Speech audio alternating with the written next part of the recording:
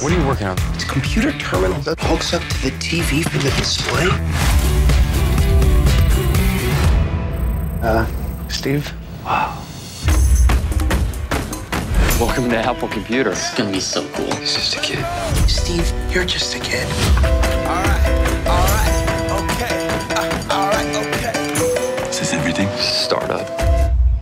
You expecting something else? Maybe something a little less Manson family.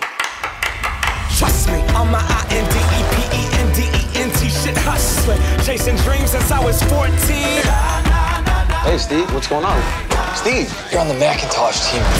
what's a Macintosh?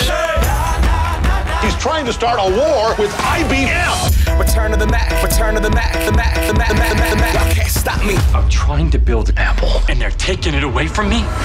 You are your own worst enemy, and this company's.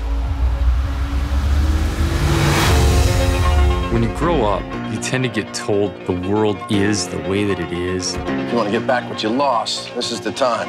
I never lost it. It was stolen from me. Life can be much broader. I love you, Steve.